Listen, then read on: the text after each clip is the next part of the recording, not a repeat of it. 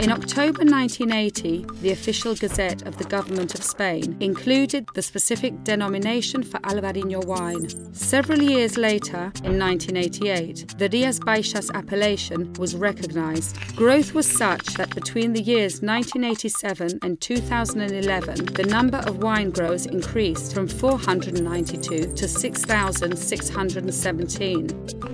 The number of wineries increased from 14 to 181, and the vineyard area increased from 237 to 3,969 hectares.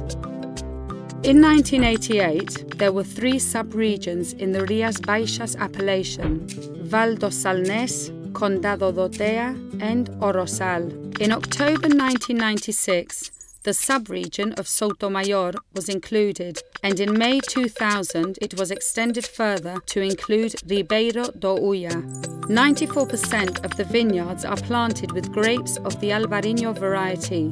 Albarino produces wines with alcohol levels between 11 and 13% and an acidity of 7 to 9 grams per litre. Loureira, white and red, Treixadura, Caíño, white and red, Torrontés, Godello, Espadeiro, Sousón, Mencía, Pedral, Brancellao, and Castañal are all approved varieties within the Rias Baixas appellation.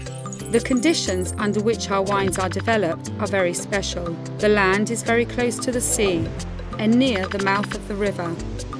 We have a mild climate with rain throughout the year.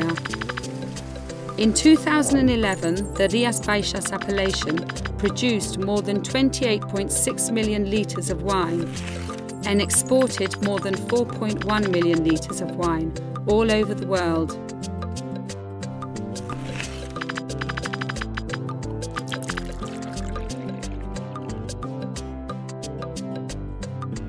Rias Baixas appellation